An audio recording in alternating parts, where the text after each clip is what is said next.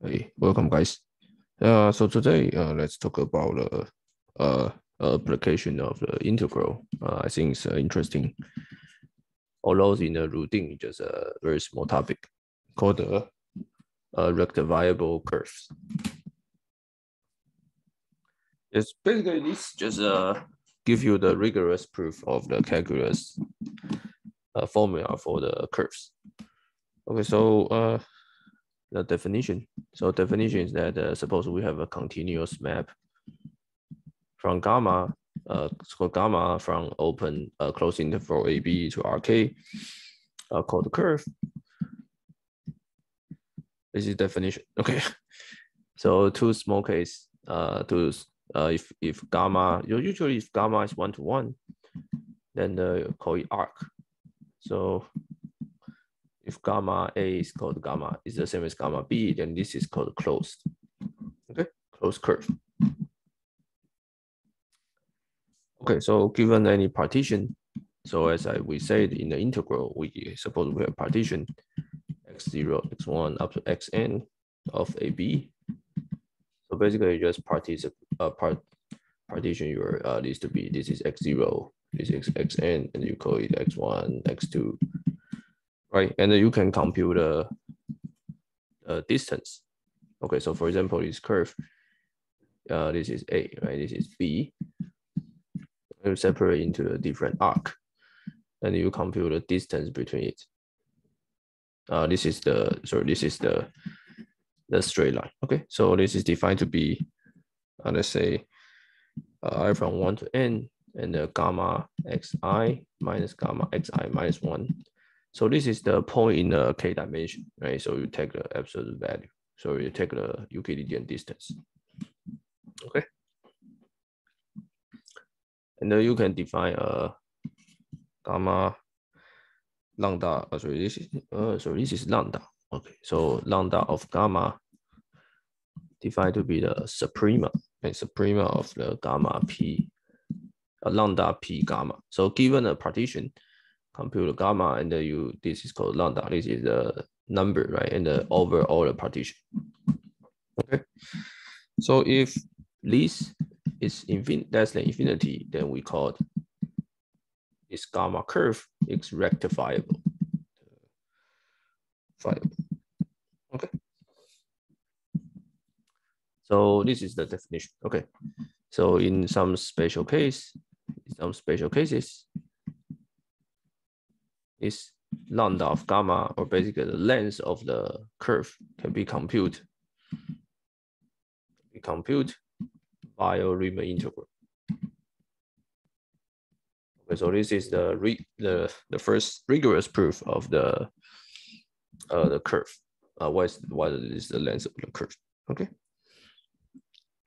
So the special case, uh, what we're gonna to prove is that uh, gamma is uh continuous, uh, continuously differentiable. So gamma is continuously differentiable.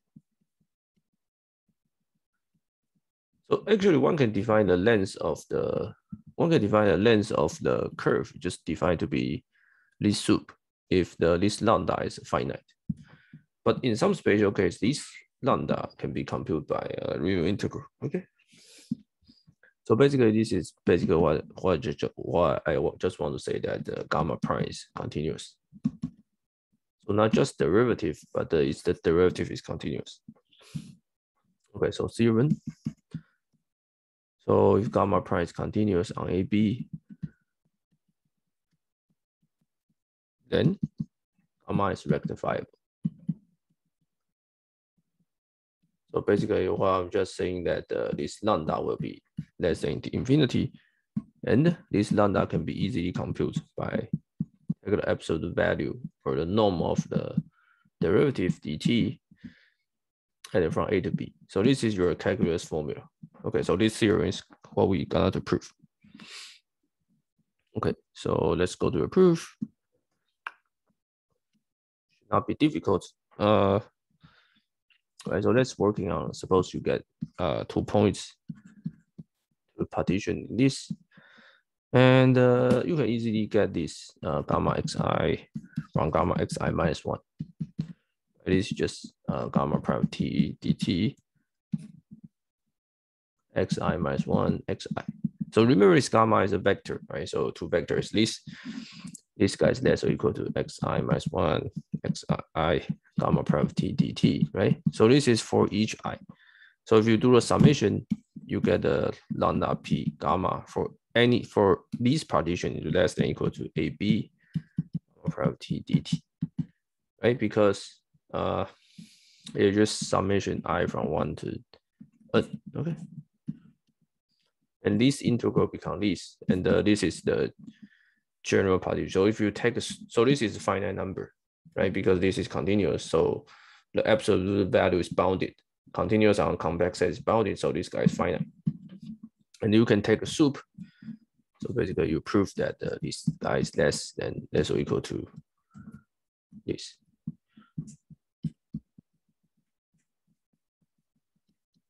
Okay, so both basically we prove one direction that uh, they are the we prove one direction that, that they are so they are rectifiable less than infinity. But uh, we so we need to prove the another direction. Okay, so which comes the the, the part the difficult uh, the interesting part. Okay, so we need to prove the upside uh, the opposite uh, inequality, right? So suppose for epsilon greater than zero, now coming to your analysis. And uh, we know that the, uh, this gamma prime is uniformly continuous. Okay, and the reason is that what we just what I just proved in the I think it's in the chapter four in the continuous section that the so continuous function on compact set is uniformly continuous.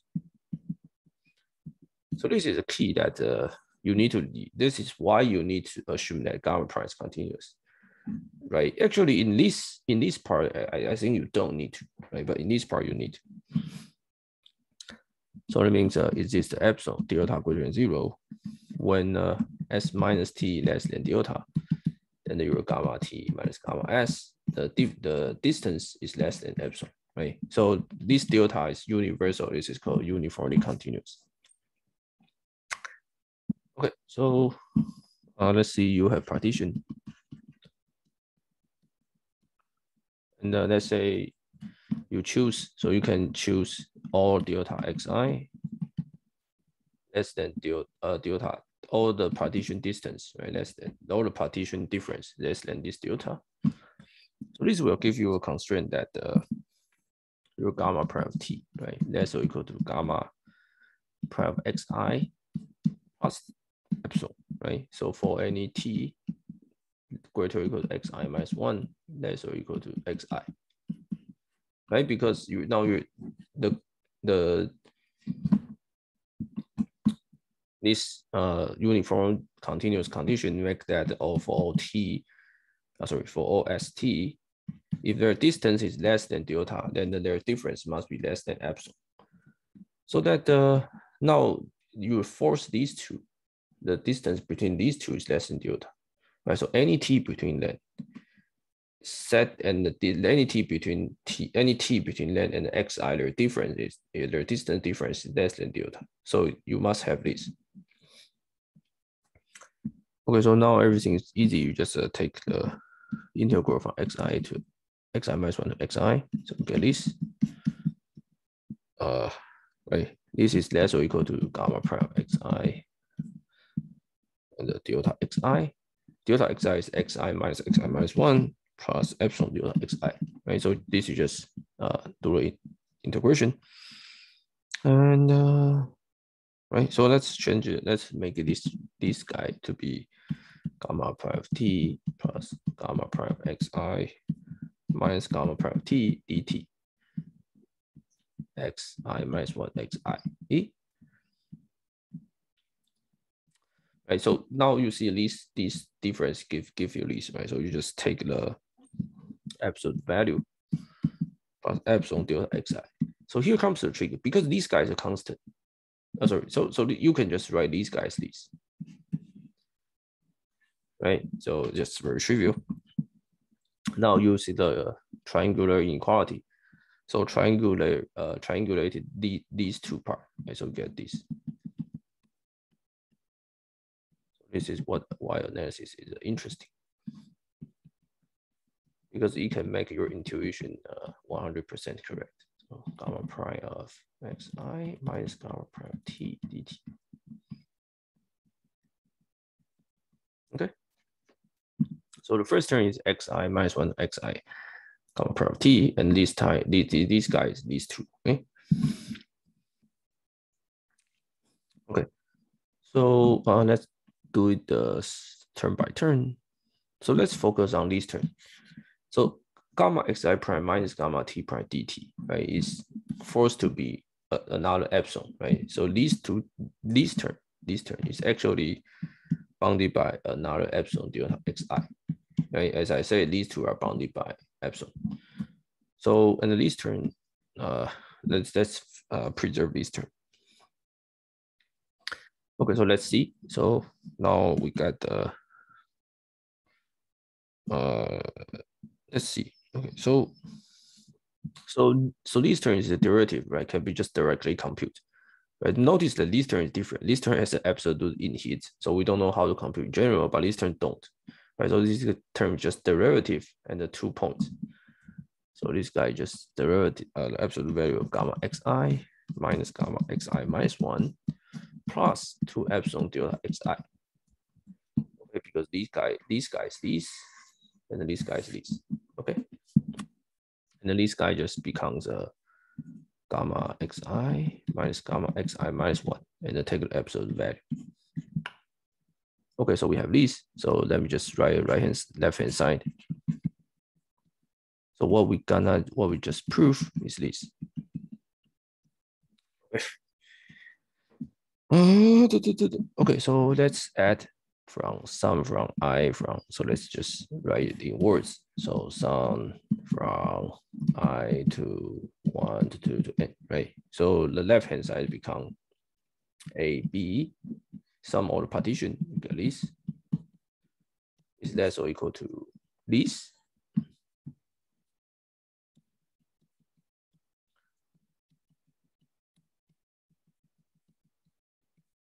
plus 2 epsilon, right? Delta xi will just be b minus a.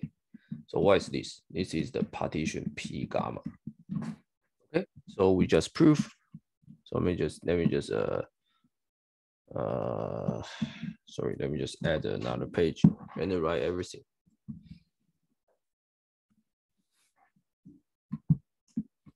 Okay, so what we just proved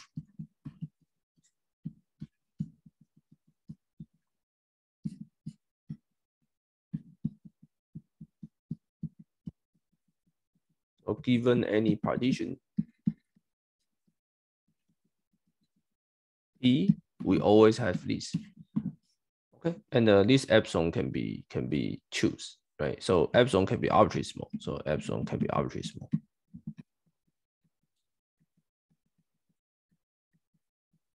So if you make epsilon to be small, then you will deduce that uh, this guy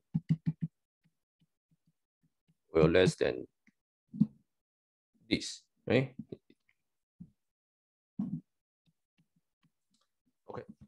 Once you choose epsilon to be small, then you get this, right? Because if you take suit by two sides, then this epsilon can be arbitrarily small.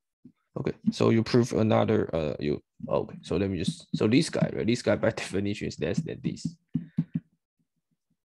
This lambda gamma plus this, right? So now you have a number a number which is less or equal to something, but plus any arbitrary arbitrary number. So this number must less or equal to this. Otherwise, if this number is greater or equal to is greater than lambda gamma a little bit, then I will make epsilon to be arbitrarily small and violate this equality.